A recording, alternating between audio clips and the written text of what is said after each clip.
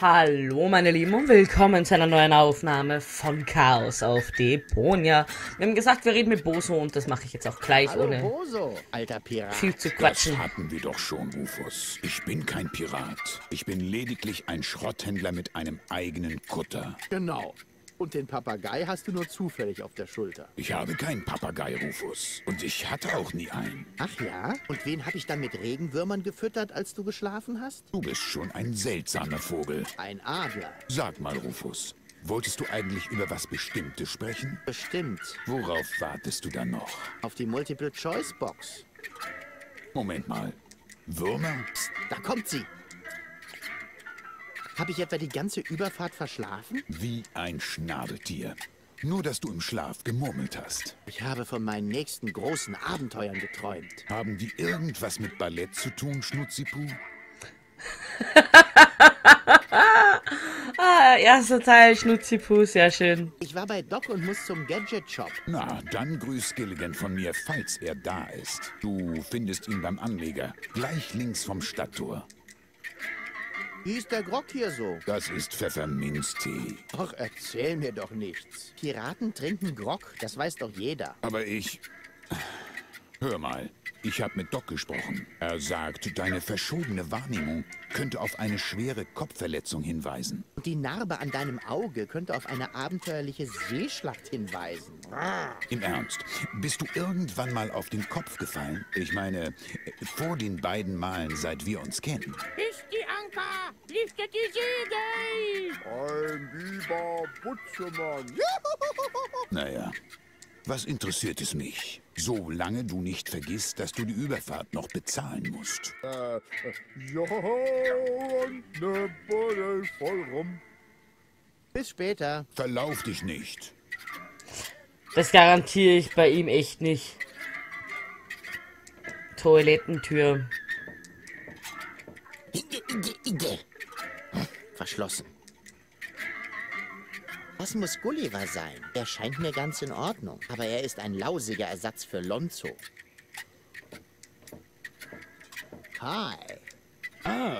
Ein neuer Kunde. Herzlich willkommen in Gullivers Gully. Ich bin Gulliver. Wenn du die Toiletten benutzen willst, sag bitte vorher bei mir Bescheid. Dann bekommst du von mir den Schlüssel, die Taschenlampe und das Anti-Wolf-Spray. Wir übernehmen keine Haftung für Schäden, die durch Erdnüsse von der Theke entstanden sind. So, was kann ich für dich tun?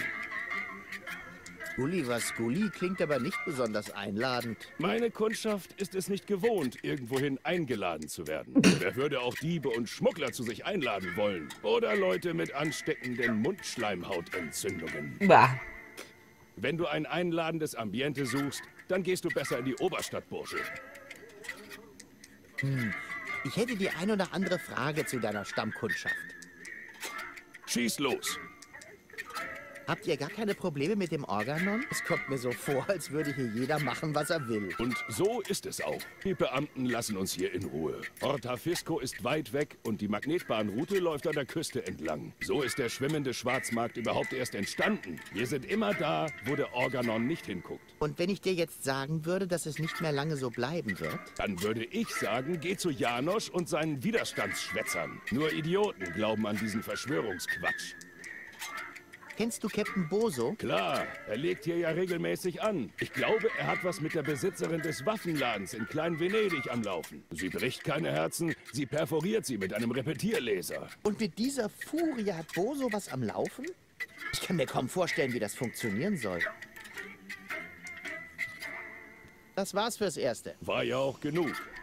Mm, Ganz schön schummrig hier. Äh, Freu dich doch. Die wenigsten meiner Stammgäste sind ein schöner Anblick. Aber wenn du das hier schon dunkel findest, dann warte mal ab, bis der Generator wieder streikt. Passiert das öfter? Leider. Es ist die salzige Luft. Die ist wie Zucker im Tank. Paradox, nicht wahr?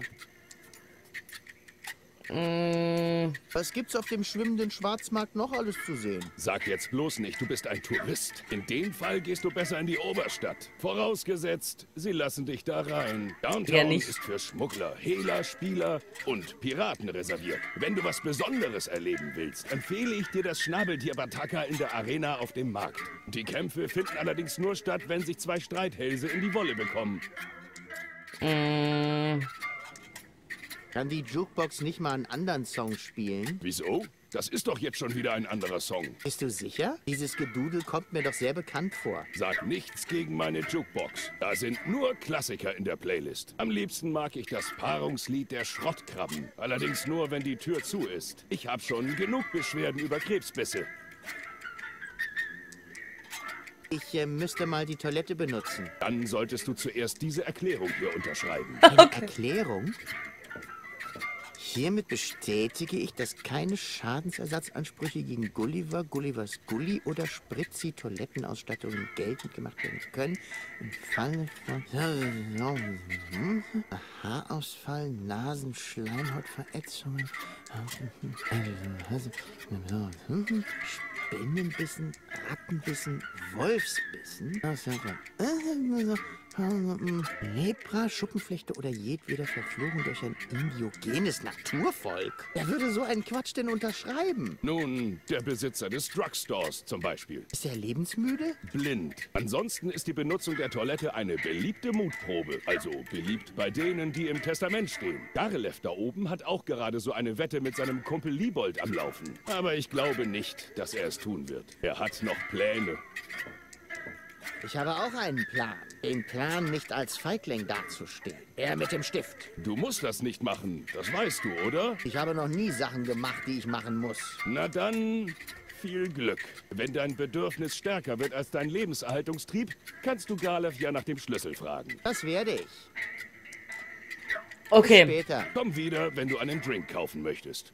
kann ich jetzt Boso fragen nach seiner Boso. Freundin? Ah, was liegt an? Okay, kann ich nicht. Verlauf dich nicht. Okay, kann ich jetzt nicht. Und jetzt kann ich mal gehen. Gut. Den, den äh, Generator kann ich nicht. Jetzt ist er wieder da. Ein Airbag? Wer hätte das gedacht? Okay, ich gehe mal hier weiter. Oh Gott. Oh Gott. Was ist denn das? Kann ich hier mit irgendwas reden? Vordruckswerkstatt. Vielleicht Ist das so ein Rundgang? Kann ich mit ihr reden? Auch wenn die rumspinnt? Ich fasse es nicht. Es ist mir egal, ob ihr die neuen Nachbarn seid. Da könnte Stefano Stiletti persönlich mit einem Kuchen vor der Tür stehen. Ich würde ihm trotzdem mit der Nagelpistole. Was zum? Was willst du denn schon wieder? Kennst du Captain Boso? Captain? Ist man jetzt schon Captain, wenn man einen rostigen Müllkutter über Wasser halten kann? Der einzige Captain, den ich kenne, ist Captain Seagull oben in Bellevue. Aber im Vergleich zu dem affektierten Idioten ist mir Boso allemal lieber. Also kennst du ihn. Ich trage gerade seine Unterwäsche, wenn du es genau wissen willst. Ich gehe dann mal wieder. Wehe, du gehst mir noch mal auf die Nerven. Sehr explosiv, die Dame. Okay, hier ist noch dasselbe. Ich hab das. Das ist wohl schon der neue Airbag. Das ging aber schnell.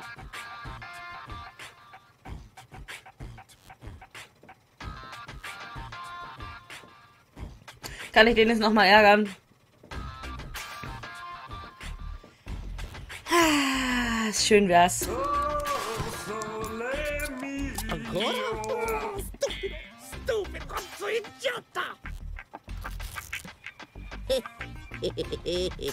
Ja. Noch ein neuer Airbag. Wie viele Ersatz-Airbags hat Doc denn nur auf Lager? Anscheinend genug. Schauen wir mal. Wen haben wir denn da? Wenn das nicht der Neuankömmling ist, von dem alle reden. Tun Sie das? Wird ja auch Zeit. Die Geschichten von meinen Heldentaten sind alle noch untertrieben. Wir sind nicht interessiert an Märchen. Du hast etwas, das wir haben wollen. Zu dumm. Mit gutem Aussehen muss man geboren werden. Wir reden von den geheimen Aufstiegscodes. Die Aufstiegscodes? Nur über meine Leiche. Wartet, lasst mich das umformulieren. Oh oh.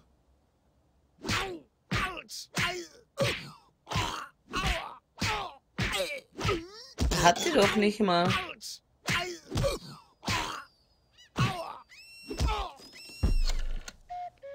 Er hat sie nicht dabei. Er ist wohl doch nicht so dumm, wie er aussieht. Und was machen wir jetzt? Wir sollten der Donner Bericht erstatten.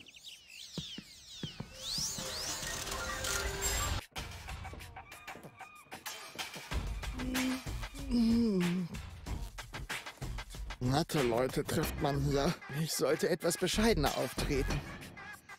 So, Ist das der Ra Ist das das jetzt?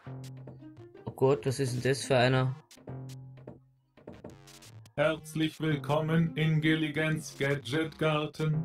Es bedient Sie Ihr Shopomat 2000. Wie kann ich Ihnen helfen? Doc schickt mich, um einen Satz Datasetten abzuholen. Aber natürlich. Wir haben zurzeit zwei unterschiedliche Marken im Sortiment. Die erste Sorte heißt Platinum Proof Professional. Sie sind etwas teurer, haben dafür aber die bessere Qualität. Es gibt aber noch eine billigere Sorte. Cowboy Dodos lustige Allzweck-Datasetten. Sie sind zwar qualitativ nicht ganz so hochwertig, dafür gibt es einen bunten Lolli gratis dazu. Ein Lolli? Also, welche Marke darf es denn sein? Ich glaube, der will raus. Hm, Ich nehme natürlich Platin Platin nicht. Hm. Sind es auch wirklich die guten Datasetten? Natürlich. Immerhin geht es hier um Golds Bewusstsein. Hm. Na, dann kann es ja losgehen. Mhm.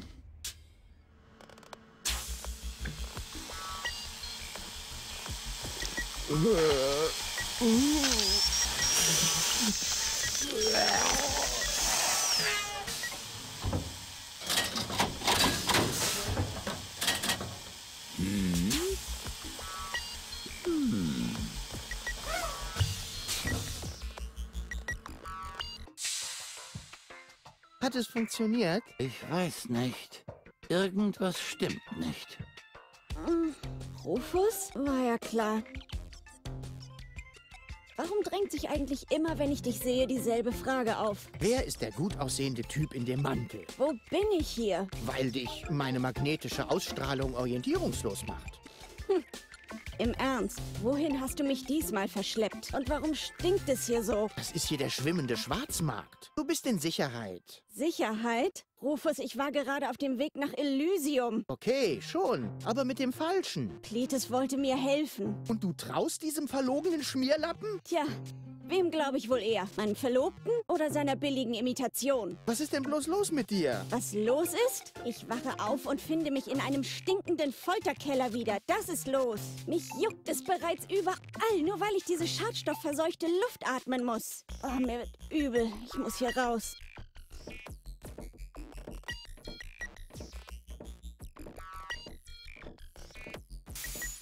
Sie ist ganz schön sauer. Das täuscht. Ich habe eine gewisse Wirkung auf temperamentvolle Frauen. Sie werden temperamentvoll? Sehr witzig. Aber sie kam mir tatsächlich ein wenig biestig vor. Bist du sicher, dass du bei ihr nichts durcheinander gebracht hast? Hm, ich glaube, ich habe tatsächlich eine Erklärung. Die Datasette wurde nicht vollständig beschrieben. Fast so, als wären es die billigen gewesen. Nicht billiger als deine Ausreden. Wie es scheint, wurde ihr Bewusstsein in drei Teile gespalten.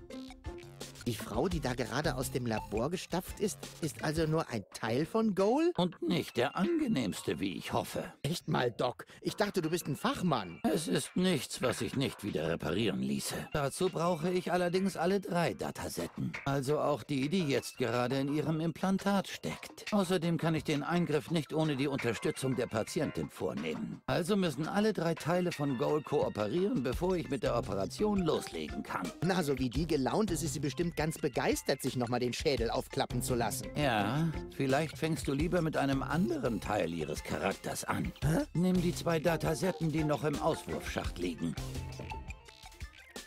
Und das hier. Was ist das? Eine Fernbedienung? Nicht ganz. Siehst du das Fach an der Rückseite? Leg einfach eine der anderen Datasetten ein und drück den Knopf, wenn du in Golds Nähe bist. Sag ich doch, eine Fernbedienung. Es ist schon etwas komplizierter. Die Daten werden in einen Puffer geschrieben und... äh, Ich kann zwischen zwei Charakteren hin und her seppen. Nein, ja, äh, so ähnlich, aber Wie bei einer Fernbedienung. genau, wie bei einer Fernbedienung. Cool. So eine hätte ich mal für Toni haben sollen. Beeil dich, Rufus. Je länger sich die einzelnen Charaktersplitter an ihre Selbstständigkeit gewöhnt haben, umso schwieriger wird es, sie zur Operation zu überreden. Suche Goal und überzeuge sie. Alle drei Teile von ihr. Ich bereite hier schon einmal alles weitere vor. Na dann, auf geht's. Auf geht's zu einem neuen Abenteuer in der nächsten Folge. Ich hoffe, euch hat die Folge gefallen. Bis zum nächsten Mal. Ciao, ciao.